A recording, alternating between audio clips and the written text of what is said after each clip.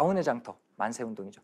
여기가 다들 아시죠? 유관순 열사? 네, 아 요새 언론에 하도 많이 나와서 그 아우네 장서 3.1 운동은 유관순 열사가 이분이 유관순 유관순 열사가 이화 학당에 다니고 있었어요. 이 만세 운동이 일어날 때 1학년 학생이었는데 서울에서 만세 운동에 참여를 합니다. 그런데 서울에서 만세 운동이 너무 확대되다 보니까 일본 애들이 서울에 있는 모든 학교를 휴교령을 내려요.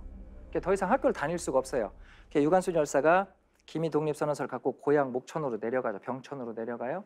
병천으로 내려가서 병천, 뭐 천안, 그 연기, 뭐 청주 뭐 이쪽 인근 지역을 돌아다니면서 3.1 운동을 기획을 해요.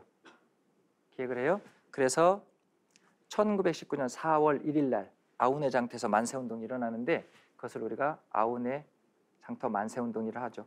어, 4월 1일 날 일어나고요. 그 전날에 이제 그 유관순 열사 생각 올- 반대편에 가면 이제 매봉산이라는 산이 있어요. 거기서 횃불 봉화도 올리고 그래요. 그래서 4월 1일 날 만세 운동이 시작되는데 사- 시위가 상당히 과격했어요.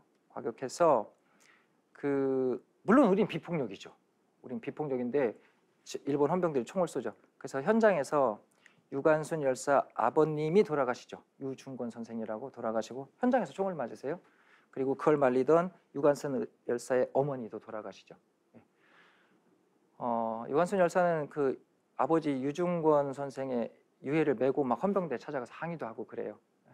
그래서 체포가 되십니다. 체포가 되셔서 음, 천안이니까 이제 관할 법원이 공주 지방 법원이 돼요. 공주 지방 법원에 와서 재판을 받는데 아, 여기 투옥됐을 때 유관순 열사 오빠 있어요. 오빠 유 유우석이라고 이거는 공주 영명학교 학생이었는데 그 영, 영명학교 3.1 운동을 주도하다가 투옥된 거예요. 그러니까 동생 유관순은 천안에서 3.1 운동 돼서 공주에 투옥돼 있고 그 오빠는 공주 영명학교 3.1 운동을 주도해서 투옥돼 있고 그래서 오빠하고 동생이 같이 투옥돼 있는 상황이 연출돼요.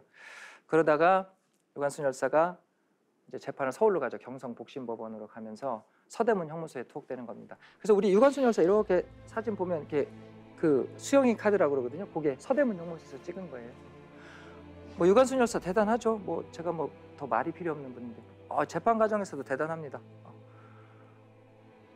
제 나라 사람들이 자기 나라를 되찾기 위해서 정당한 일을 했는데 왜 우리 민족을 총으로 죽이느냐? 죄를 진 건 너희들이다. 아주 당당하게 욕을 하시고요.